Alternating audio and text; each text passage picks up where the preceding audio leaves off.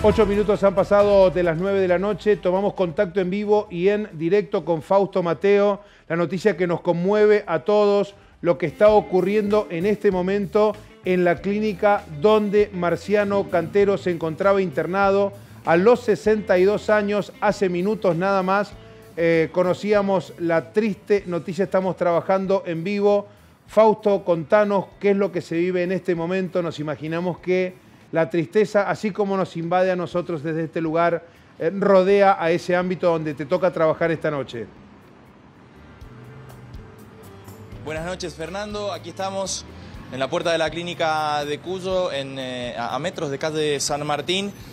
Bueno, eh, imágenes de, tristeza, obviamente, porque Marciano Cantero falleció hace algunos minutos. Esta noticia, además de confirmarse aproximadamente cerca de las ocho y media de la tarde, hace instantes nada más, su hijo Javier salió de la clínica para confirmarnos eh, la noticia. Eh, están eh, sus familiares, está su novia Viviana, está también Felipe Staiti, compañero de los Enanitos Verdes. Estuvieron hasta los últimos minutos en los que Marciano Cantero estuvo con vida a su lado.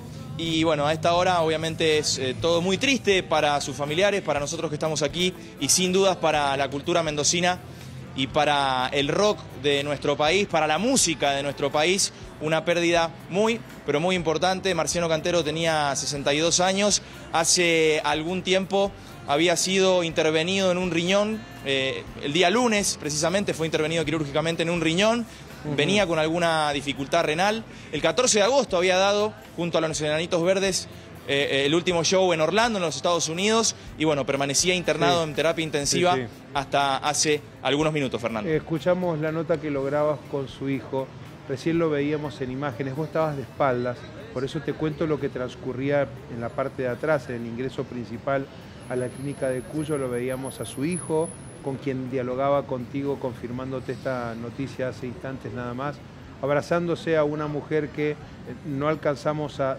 divisar de quién se trataba. Escuchemos las palabras del hijo de Marciano, por favor. Eh, mi papá ha fallecido. Eh, estaba muy complicado después de la operación de riñón y lamentablemente no, no pudo superar estas Queremos agradecerle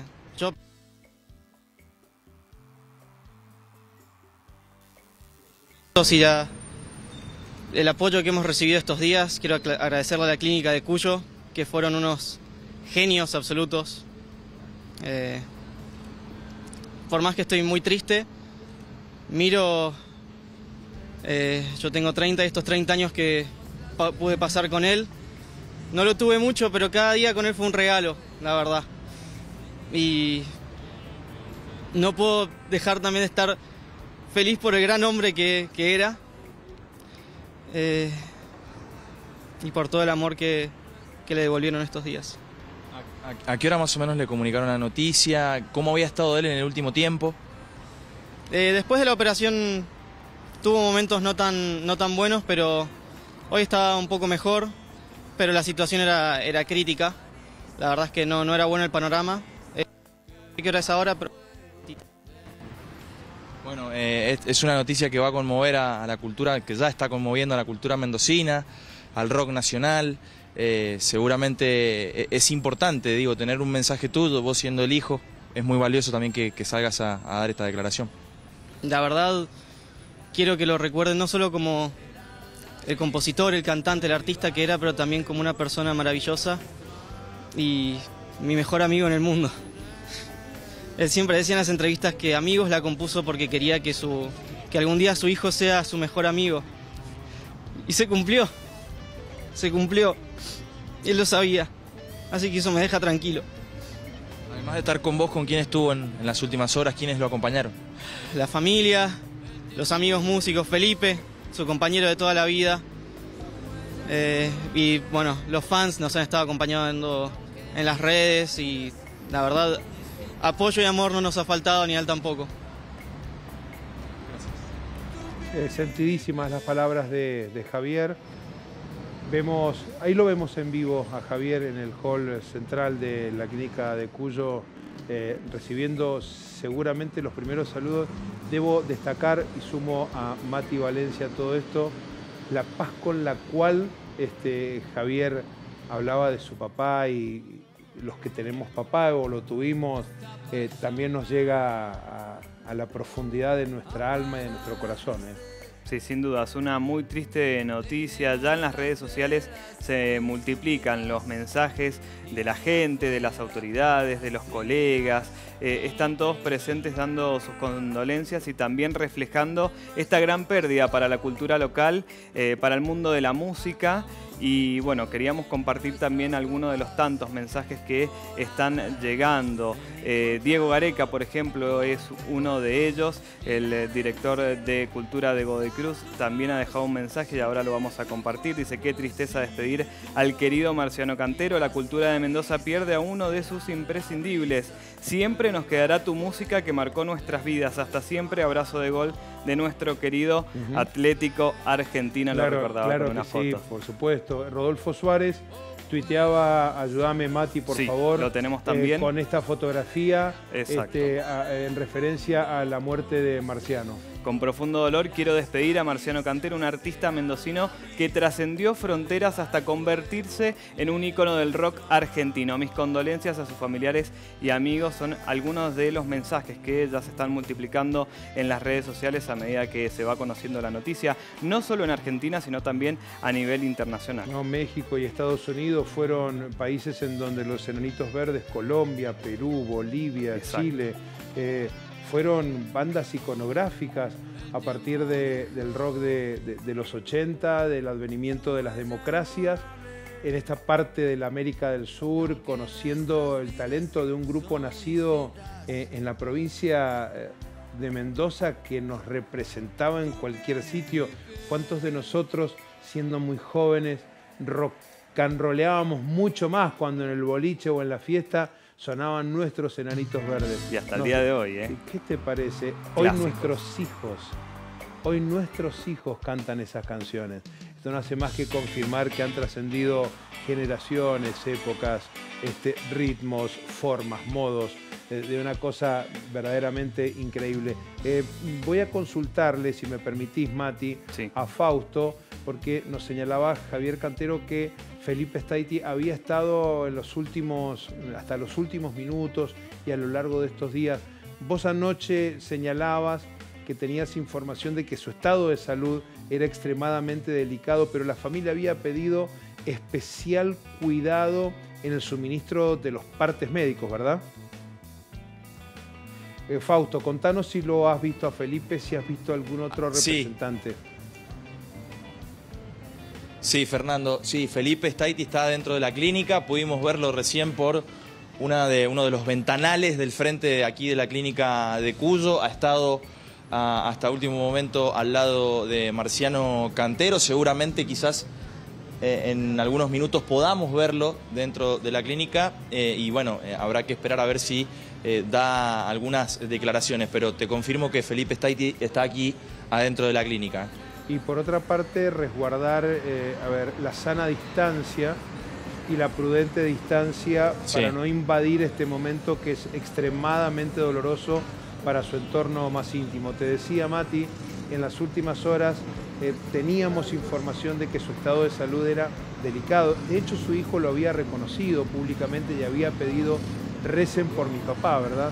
Exactamente, sí, por supuesto, estábamos siempre esperando la palabra del hijo, el único autorizado, ¿no? Para hablar de su papá y por supuesto que ayer llegaban algunos partes médicos, pero preferíamos escuchar siempre la palabra de Javier y también la importancia, ¿no? De los rezos de la gente que desde el día de ayer que salió esta noticia no dejaban de enviar eh, sus mensajes de apoyo a Marciano Cantero, como les decía, desde todas partes del mundo, no solamente de Argentina, de Mendoza, desde México, llegaban sus mensajes. Misma situación que está ocurriendo ahora. Bueno, ya la revista Rolling Stone con sede argentina también está dejando sus condolencias. Billboard también ha publicado un mensaje y bueno, se siguen multiplicando la cantidad eh, de mensajes. ¿no? Alfredo Cornejo también ha dejado hace minutos uno de los mensajes de las condolencias y por supuesto la gente está conmocionada con esta noticia porque se fue un grande, ¿no? un ícono de nuestra provincia en la música. Por supuesto que sí, Mati, vamos a seguir atentamente eh, la evolución de estos de estos primeros minutos. Mostremos por favor el tweet. Claro que sí, por supuesto.